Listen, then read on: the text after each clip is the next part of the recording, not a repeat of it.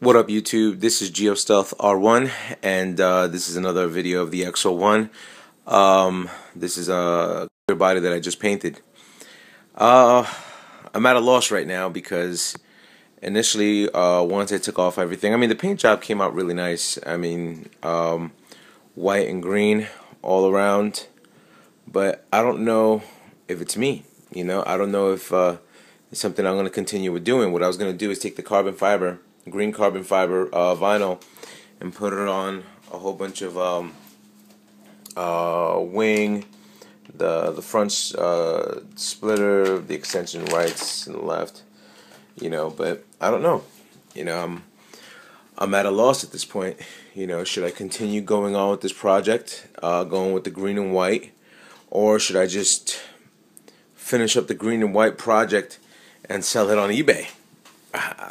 I'm not too sure. Um, yeah, uh, comment, rate, subscribe. Tell me uh, if I should go go along and continue uh, with the green and white concept XO-1, or should I go with um, a different type of uh, scenario? Um, just keep in mind there are no decals on this thing yet because I, I don't know what I'm going to be doing with this thing. You know, I'm looking at it. It looks looks nice, but I don't know if it's me. You know, is it something totally uh, totally different than what I usually do. But um, yeah, tell me what you think. You know, like I said, you know, to all my YouTube guys out there, you know, I, I take your opinions very seriously.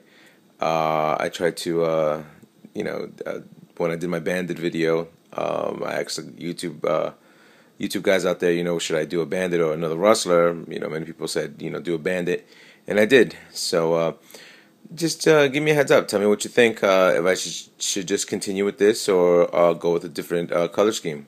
Anyway, to all my fellas up on YouTube, later.